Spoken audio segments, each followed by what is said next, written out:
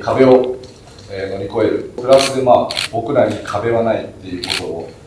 え、証明したいと思って今回の選手の活躍により障害のある方々が夢や希望を持ちさまざまなことを挑戦していただくきっかけになると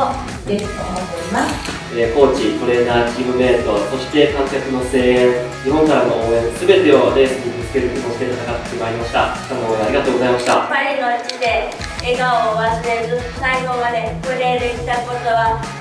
チーム火の玉ジャパンとしてすごく幸せに思っています。お帰りなさい。そして、えー、今年お疲れ様でした。